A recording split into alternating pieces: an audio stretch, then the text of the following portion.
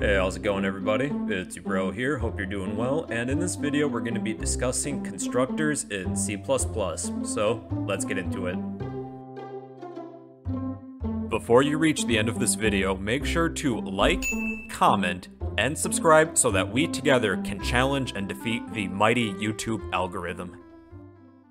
Hey everyone, so we're going to be discussing constructors. A constructor is a special function that is automatically called when an object is instantiated. I needed to write that down because I wouldn't remember the definition. So it's useful for assigning arguments to variables whenever we instantiate an object.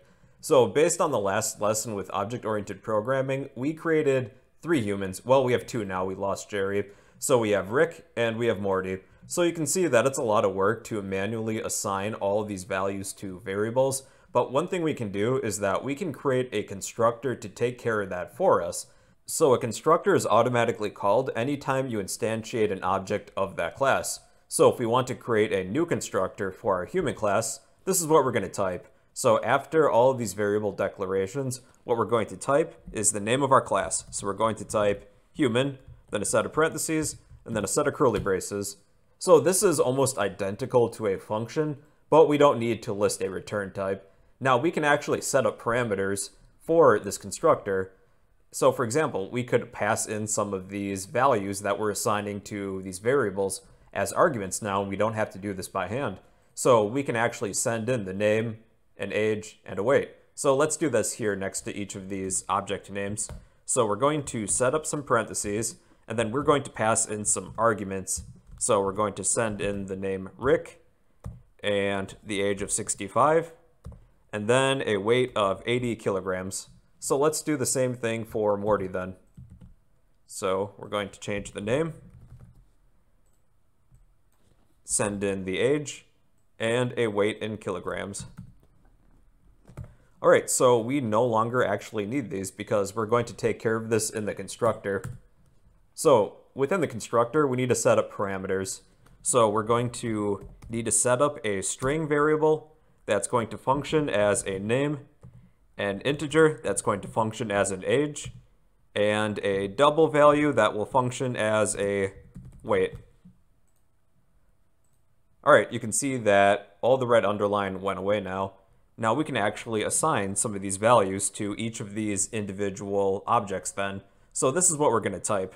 Now this is what we're going to type. The keyword this dash greater than sign name equals name.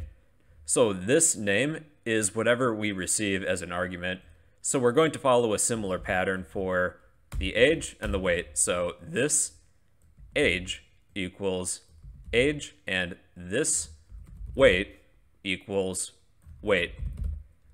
So these are the values that we're actually receiving and we're assigning these to the variables of the object that is currently using this constructor. So if we're instantiating the human1 object, we're assigning all of these values to the variables of human1. And if human2 is using this constructor, we're assigning all of these values to human2's variables. So basically, replace this word with the variable of whatever object is actually using this constructor. So that's a good way of thinking of this. So this allows us to actually reuse these statements. Before we had to like type these out by hand, and it's not too bad if we only have two objects, but imagine if we had like hundreds, we'd be here all day then. So we can simply just keep on reusing this code then. Now let's display all of human one's variables just to prove that I'm not a liar. So we'll cout human one's name, then we'll end line, and let's do the same thing for his age and his weight.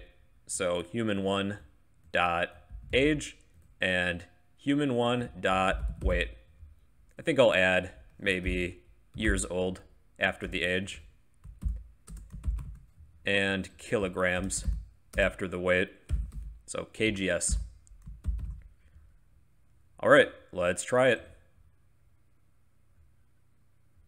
Yep, Rick is 65 years old and he weighs 80 kilograms. Now let's replace this with human 2.